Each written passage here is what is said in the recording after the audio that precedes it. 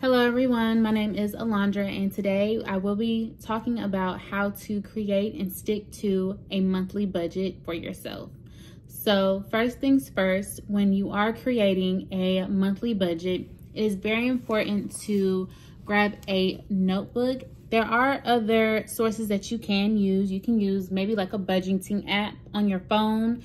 You can use any type of spreadsheet that you would like. And also you can even use envelopes if you would like to. But for me personally, I just like to write things down myself and keep track keep track of it for myself.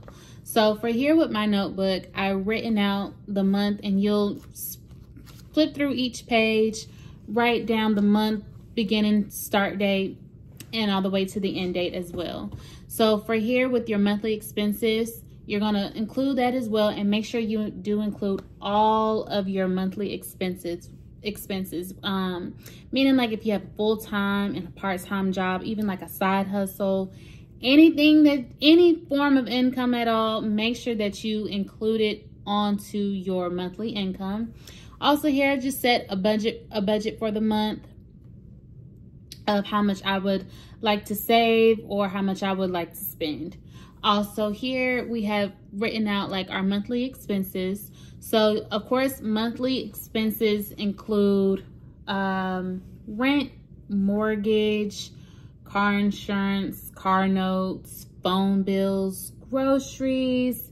Um, if you have kids, write down their expenses as well um, for school, trips, basketball, football, cheerleading, anything. Make sure you include those expenses as well. You can also write on here if you have like any short-term or long-term goals that you would like to reach. You can write that on here as well. Also included um, savings and emergency funds. Now, when you do start your monthly income, it is very important to know how to allocate your funds. So I've learned personally how to do the 50, 30, 20 rule, meaning that 50% of my stream of income will go towards my monthly expenses. And then 30% of my income can go towards my savings my emergency funds or to anything that I just want personally, whether that be like trips, a purse, some sunglasses, um, you know, just like maybe like a little retail therapy.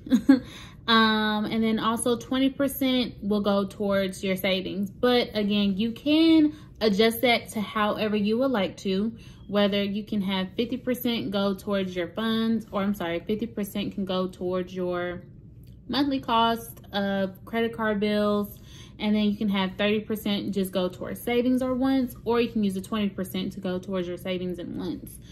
Um,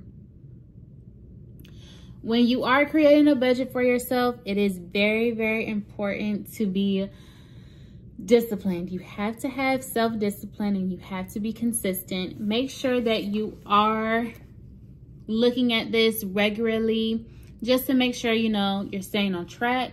And by the end of the month, if need be, you come back, you do review your your budget and your monthly costs just to see if you need to make any any adjustments at all whether that can be you know maybe i need to save a little bit more or not go out as much or maybe i do have a little bit more to spend if i would like to um there are some other resources that you can use you can like i said use a budgeting app Personally, for me, thankfully, I do have an app on my phone that does show me how much money is being sent, spent on food, shopping, personal items, bills. Um, but also, like I said, I do keep this here as well. You can use a spreadsheet and then you can also speak with a financial advisor if you would like to.